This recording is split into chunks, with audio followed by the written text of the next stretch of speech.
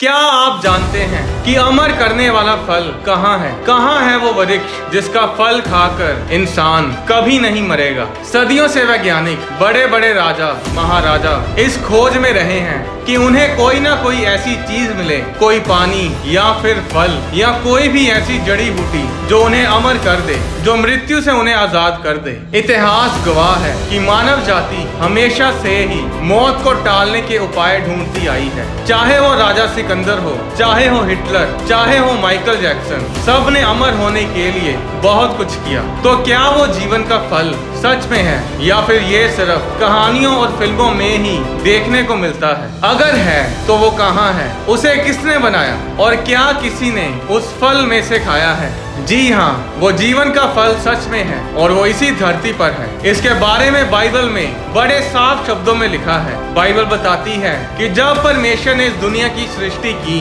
तो परमेश्वर ने आदम और हवा को भी बनाया और उसने आदम और हवा को एक वाटिका में रखा, जिसका नाम था अदन, जिसे इंग्लिश में गार्डन ऑफ़ ईडन कहते हैं। उस बाग में परमेश्वर ने तरह तरह के वृक्ष लगाए थे। उत्पत्ति अध्याय दो की नौ आयत में लिखा और यहोवा परमेश्वर ने भूमि से सब भांति के वृक्ष, जो देखने में मनोहर और जिनके फल खाने में अच्छे हैं, उगाए। और वाटिका के बीच में जीवन के वृक्ष को और भले या बुरे के ज्ञान के वृक्ष को भी लगाया। परमेश्वर ने आदम और हवा को आज्ञा दी थी कि वे अदन की वाटिका के सब वृक्षों के फलों को खा सकते हैं। पर भले और बुरे के ज्ञान के वृक्ष का फल वे खाना तो क्या?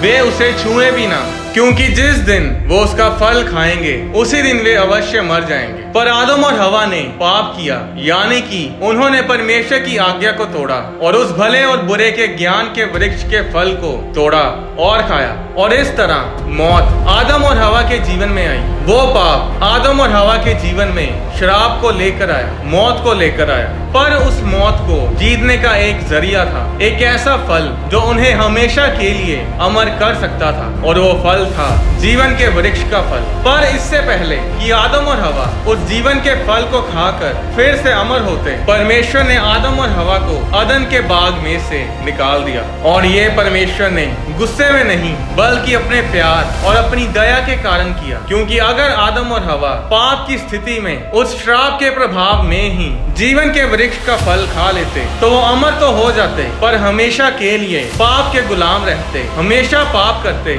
और परमेश्वर से दूर रहते, जो परमेश्वर कभी नहीं चाहता था। इसीलिए परमेश्वर ने उन्हें उस अदन की वाटिका से निकाला। फिर अपने बेटे यीशु मसीह को कुर्बान किया, जिसने हम सब के पापों को अपने ऊपर ले लिया। और क्रूस पर अपनी जान देकर हमें उस आदम और हवा के पाप से, उस श्राप से आज़ाद किया। और अब हमें उस आदम और हवा के श्राप से आज़ाद करने के बाद परमेश्वर हमें अमर करेगा। हमें उस जीवन के वृक्ष के फल में से खाने को देगा, ताकि हम परमेश्वर के साथ हमेशा हमेशा के लिए आनंद में रहें। इसके बारे में बाइबल में उत्पत्ति अध्याय तीन, उसकी बाईस आयत में लिखा, फिर यहोवा परमेश्वर ने कहा, मनुष्य, भले बुरे का ज्ञान पाकर हम में से एक के समान हो गया है। इसलिए अब ऐसा ना हो कि वे हाथ बढ़ाकर जीवन के वृक्ष का फल भी तोड़ के खा ले और सदा जीवित रहे। इसलिए यहोवा परमेश्वर ने उसको अदन की वाटिका में से निकाल दिया कि वे भूमि पर खेती करे जिसमें से वह बनाया गया था। चौबीस आयत में लिखा, इसलिए आदम को उसने निकाल दिया और जीवन के वृक्ष के मार्ग का पहरा देने के लिए अदन की वाटिका के पूर्व की ओर करूबों को, यानी स्वर्ग दूतों को और चारों ओर घूमने वाली ज्वालामय तलवार को भी नियुक्त कर दिया। वो अदन का बाग, वो वाटिका इस धरती पर ही थी और आदम को उस वाटिका से निकाला गया था, ना कि धरती से। आदम और हवा को परमेश्वर ने इस धरती पर बनाया था। इसी धरती पर रहने के लिए परमेश्वर ने उन्हें बनाया था। तो अगर स्वर्गदूत उस समय वाटिका के उस जीवन के वृक्ष की रक्षा करते थे तो क्या आज भी वो स्वर्गदूत उस वाटिका के उस वृक्ष की रक्षा करते हैं। कहाँ है वो बाग? कहाँ है वो वाटिका? कहाँ है वो अदन के वृक्ष? वो कोई छोटा मोटा बाग नहीं था। वो लोगों के घरों में लगा, कोई गार्डन नहीं था। वो इतना बड़ा था कि उसमें से नदियाँ बहती थी। इतना बड़ा बाग कहाँ गायब हो गया? क्या वो किसी सरकार के कब्जे में है? या फिर परमेश्वर उस बाग को ही स्वर्ग में ले गया? वो अदम का बाग इस धरती पर ही था। इसीलिए परमेश्वर ने उस जीवन के वृक्ष के मार्ग का पहरा देने के लिए, अदन की वाटिका का पहरा देने के लिए कदूबों को, एंजल्स को नियुक्त किया, ताकि इंसान कभी भी उस जीवन के फल को खा ना सके। अब अगर उस समय वो जीवन का फल धरती पर था तो आज वो कहाँ है? क्या किसी ने उस फल में से खाया है? या फिर परमेश्वर उस वृक्ष को स्वर्ग में ले गया? क्योंकि अगर वो इस धरती पर होता तो आज इंसानों के पास होता। तो कहाँ गया, वो जीवन का फल। क्या उस वृक्ष को परमेश्वर स्वर्ग ले गया? इसका उत्तर है, नहीं। क्योंकि अगर ऐसा होता तो वाचा का संदूक भी स्वर्ग में होता। वाचा का संदूक स्वर्ग में नहीं है, वो भी धरती पर ही है। उसे स्वर्ग में नहीं ले जा सकते, क्योंकि उसके ऊपर जानवरों का लहू है। क्योंकि बकरों, जानवरों का लहू हमें परमेश्वर के साथ मिला नहीं सकता। इब्रानियों अध्याय दस, उसकी चार आयत में लिखा, क्योंकि ये अनहोना है कि बैलों और बकरों का लहू पापों को दूर करे। वाचा का संदूक जो मूसा ने इस धरती पर बनाया था, वो उस वाचा के संदूक की नकल थी, जो पहले से ही स्वर्ग में है। जो वाचा का संदूक मूसा ने बनाया था, वो उसने स्वर्ग के दर्शन में से देख कर बनाया था। एक वाचा का संदूक स्वर्ग में है और दूसरा वाचा का संदूक इस धरती पर है। और इसी तरह जीवन का पेड़ भी दो जगह पर स्थित है, एक स्वर्ग में और दूसरा इस धरती पर। जो जीवन का फल स्वर्ग में है, उसके बारे में प्रकाशित वाक्य अध्याय दो, उसकी सात आयत में लिखा, जो जय पाए, मैं उसे उस जीवन के पेड़ में से, जो परमेश्वर के स्वर्ग लोक में है, फल खाने को दूँगा। ये जीवन का पेड़ स्वर्ग में है। अब जीवन का पेड़ जो इस धरती पर है वो कहाँ है? वो जीवन का पेड़ धरती के नीचे है। वो जीवन का पेड़ अदन की वाटिका के सब पेड़ धरती के नीचे ही हैं। इसके बारे में यह अध्याय इकतीस, उसकी सोलह आयत में लिखा है, जब मैंने उसे कबर में गड़े हुओं के पास अधोलोक में फेंक दिया, तब उसके गिरने के शब्द से जाति जाति थर थरा गई और अदन के सब वृक्ष, अर्थात लबानोन के उत्तम उत्तम वृक्षों ने जितने उससे जल पाते हैं, उन सबों ने अधोलोक में शांति पाई। अठारह आयत में लिखा इसलिए महिमा और बड़ाई के विषय में अदन के वृक्षों में से तू किसके समान है? तू तो अदन के और वृक्षों के साथ अधोलोक में उतारा जाएगा। क्या आप जानते हैं कि धरती के नीचे कक्ष हैं, कोठरियाँ हैं? अगर आपने वो वीडियो देखी है जिसमें मैंने बताया है कि नरक कहाँ पर है तो आपको पता होगा कि धरती के नीचे कमरे हैं और वहाँ पर मंजिलें हैं। धरती के नीचे, क्रस्ट और मेंटल के बीच में खाली जगह है। एक गैप है, जिसे मोहरोविसिक डिस्कॉन्टिन्यूटी कहते हैं। अगर आप अयूब की पुस्तक को पढ़ें तो उसमें साफ़ साफ़ लिखा है कि समुद्र के नीचे दरवाजे हैं, धरती के नीचे, पहाड़ों के नीचे कक्ष बने हुए हैं। जो बाइबल की आयतें मैंने पढ़ी हैं, वो साफ़ साफ़ बताती हैं कि अदन के वृक्ष धरती के नीचे हैं। अब नूह के जल पर लय के समय के आसपास ऐसा हो सकता है कि परमेश्वर उस अदन की वाटिका को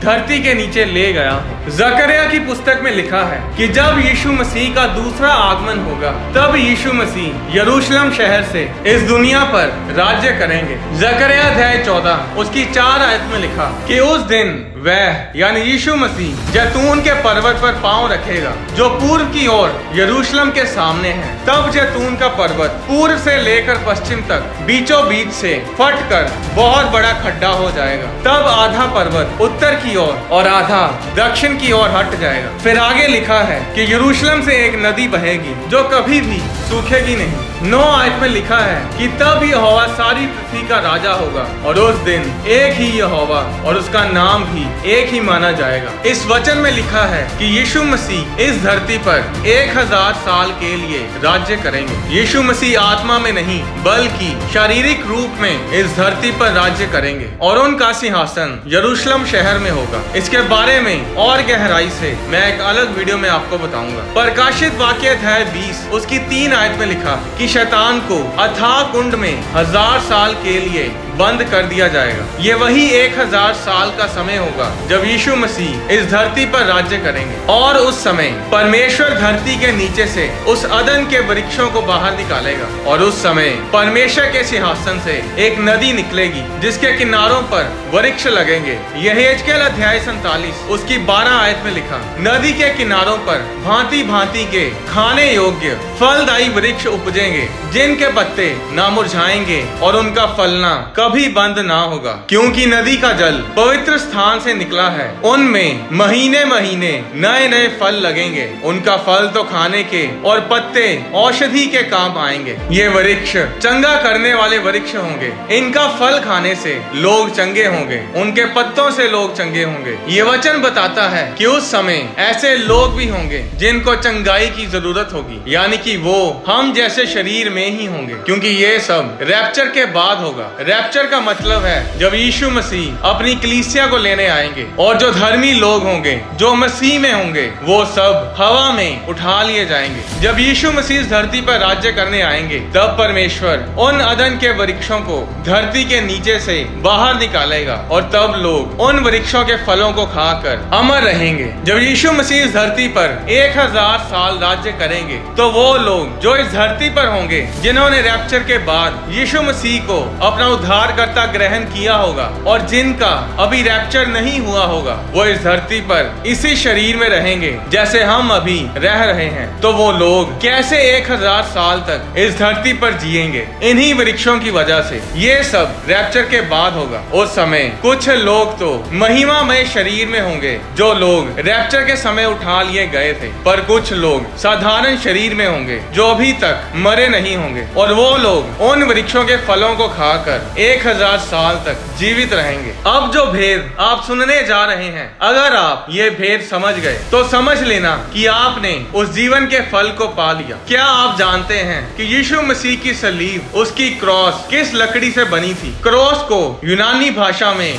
स्टोरोस बोला जाता है, जिसका मतलब है खम्बा लकड़ी का टुकड़ा, जिसे ज़मीन में गाड़ा जाता है। एक पत्रस, अध्याय दो, उसकी चौबीस आयत में लिखा, वह आप ही हमारे पापों को अपनी देह पर लिए हुए क्रूस पर चढ़ गया। यूनानी भाषा में, यहाँ पर क्रूस के लिए जूलोन शब्द का इस्तेमाल किया गया है, जिसका मतलब है लकड़ी या फिर खम्बा प्रेरितों के काम, अध्याय दस, उसकी उनतालीस आयत में भी ऐसा ही लिखा है, हम उन सब कामों के गवाह हैं, जो उसने यहूदिया के देश और यरूशलेम में भी किए और उन्होंने उसे काठ पर लटका कर मार डाला। यूनानी भाषा में काठ शब्द की जगह भी जूलोन शब्द का इस्तेमाल किया गया है। गलातियों अध्याय तीन, उसकी तेरह आयत में लिखा, मसीह ने जो हमारे लिए शापित बना, हमें मोल लेकर व्यवस्था के शाप से छुड़ाया। क्योंकि लिखा है, जो कोई काठ पर लटकाया जाता है, वह शापित है। और प्रेरितों के काम, अध्याय तेरह, उसकी उनतीस आयत में लिखा, जब उन्होंने उसके विषय में लिखी गई सब बातें पूरी की। तो उसे क्रूस पर से उतरवा कर कब्र में रखा। असली भाषाओं में, जिनमें बाइबल लिखी गई, यानी इब्रानी और यूनानी भाषाओं में, पेड़ शब्द के लिए अलग अलग जगहों पर अलग अलग शब्द इस्तेमाल किए गए हैं। जिस तरह जैतून के पेड़ के लिए अलग शब्द है ओक यानी बांझ वृक्ष के लिए अलग शब्द है। क्रॉस को यूनानी भाषा में पेड़ यानी ट्री भी बोला जाता है। और इस ट्री के लिए, इस पेड़ के लिए जिस शब्द का इस्तेमाल किया गया है, वो है जूलोन। प्रकाशित वाक्य अध्याय सात, उसकी तीन आयत में लिखा, जब तक हम अपने परमेश्वर के दासों के माथे पर मोहर ना लगा दें, तब तक पृथ्वी और समुद्र और पेड़ों को हानि ना पहुंचाना। इस वचन में पेड़ों के लिए डेंड्रोन शब्द का इस्तेमाल किया गया है। डेंड्रोन शब्द ड्रूस शब्द से निकला है, जिसका मतलब है बांझ वृक्ष, ओक ट्री अब प्रकाशित वाक्य अध्याय नौ, उसकी चार आयत में भी पेड़ के लिए डेंड्रोन शब्द इस्तेमाल किया गया है। पर प्रकाशित वाक्य अध्याय दो, उसकी सात आयत में लिखा, जो जय पाए, मैं उसे उस जीवन के पेड़ में से, जो परमेश्वर के स्वर्ग लोक में है, फल खाने को दूँगा। और प्रकाशित वाक्य अध्याय बाईस, उसकी दो आयत में लिखा, नदी के इस पार और उस पार जीवन का वृक्ष था। फिर चौदह आयत में लिखा, धन्य वे हैं जो अपने वस्त्र धो लेते हैं, क्योंकि उन्हें जीवन के वृक्ष के पास आने का अधिकार मिलेगा। और अब तक के सबसे बड़े भेद के लिए तैयार हो जाइए। इन तीनों आयतों में जो यूनानी भाषा का शब्द जीवन के पेड़ के लिए इस्तेमाल किया गया है। वो है जूलोन, यानी कि जीवन का पेड़, जिसका मतलब है जीवन का जूलोन, यानी जीवन का ट्री ट्री ऑफ़ लाइफ क्या आप जानते हैं कि जूलोन शब्द और कहाँ इस्तेमाल किया गया है? जूलोन शब्द यीशु मसीह की क्रॉस के लिए इस्तेमाल किया गया है। एक पत्रस, अध्याय दो, उसकी चौबीस आयत में पत्रस ने कहा, वह आप ही हमारे पापों को अपनी देह पर लिया हुआ, क्रूस, यानी जूलोन पर चढ़ गया जीवन के पेड़ के लिए कोई और शब्द भी इस्तेमाल किया जा सकता था, जैसे कि डेंड्रॉन एट्स जईफ पर जीवन के पेड़ के लिए जूलोन शब्द का ही इस्तेमाल किया गया। तो आज जीवन का पेड़, जीवन का जूलोन, यानी जीवन का क्रॉस कहाँ है? वो है यीशु मसीह की क्रॉस तो अगर आप जानना चाहते हैं कि जीवन का वृक्ष ट्री ऑफ़ लाइफ कहाँ पर है तो बस यीशु मसीह की क्रॉस की तरफ़ देखें। वही है जीवन का पेड़, वही है जीवन का फल, वही है चंगाई का सोत्र, वही है आशीष का सोत्र, वही है अनंत जीवन। वही है एटर्नल लाइफ वही है अमर करने वाला फल, वही है अमर करने वाला सोता। तो आज क्यों ना हम इधर उधर भटकने की बजाय उस जीवन के फल को अपनाएँ, यीशु मसीह को अपनाएँ, उसे अपना उद्धार करता ग्रहण करें और अनंत जीवन एटर्नल लाइफ को पाए। योहन्ना अध्याय चौदह, उसकी छह आयत में लिखा, यीशु मसीह ने कहा, मार्ग, सत्य और जीवन मैं ही हूँ। बाइबल में लिखा है कि चख कर देखो कि यहोवा कैसा भला है, यानी परख कर देखो कि यहोवा कितना अच्छा है। आप किसी को भी बिना जांचे परखे, गलत साबित नहीं कर सकते। जो लोग यीशु मसीह को नहीं जानते, मैं आपको चैलेंज करता हूँ कि एक बार परमेश्वर का स्वाद चख कर तो देखो। एक बार यीशु मसीह के पास आ कर तो देखो। वो आपका धर्म नहीं, आपकी ज़िंदगी बदल कर रख देगा। परमेश्वर आपको आशीष दे। आने वाली वीडियोस में मैं आपको बताऊँगा कि यीशु मसीह के धरती पर एक हज़ार साल के राज्य के दौरान क्या कुछ होगा। क्या यीशु मसीह का तीसरा आगमन भी होगा? गतसमनी बाग में यीशु मसीह के शरीर से खून का पसीना क्यों निकला? मनुष्य के धरती पर आने से पहले इस धरती पर कौन रहता था? क्या शैतान खाना खाता है? और इसका इंसानों से क्या लेना देना है? अगर आप इस वीडियो से आशीषित हुए हैं तो इस वीडियो को दूसरों के साथ शेयर करें और दूसरों की आशीष का कारण बने। परमेश्वर आपको आशीष दे।